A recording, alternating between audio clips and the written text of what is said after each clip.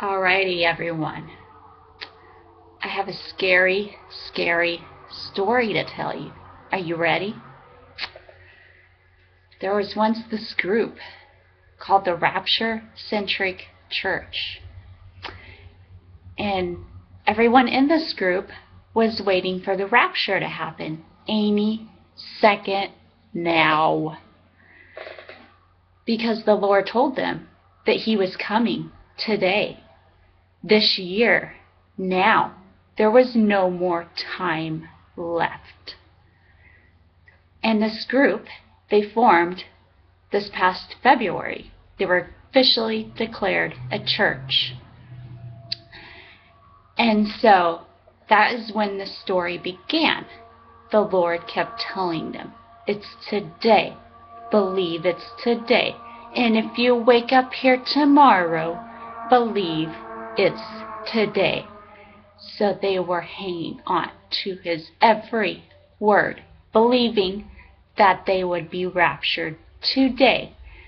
And once they would get raptured, then total chaos would come upon the earth once the worldwide rapture occurred. So they were hanging on to his every, every word. And the scary part was that it is now November 1st, 2014, and we are still here.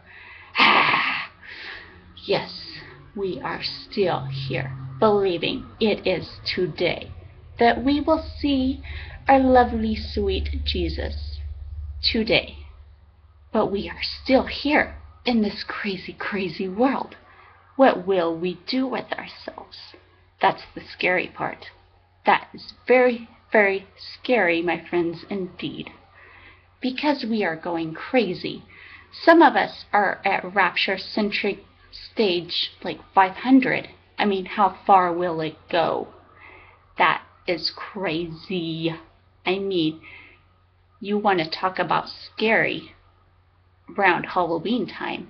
Now that is scary. What a bunch of rapture centric peeps will do to survive until they get raptured. I mean, seriously. Some of us want to catch Ebola just so we can get out of here. And then there are others who want ISIS to come get us so we can get out of here. I mean, where will it end? Scary, spooky. Yes. So the saga continues. Stay tuned for the conclusion of this rapture centric church translation. See you later in the air.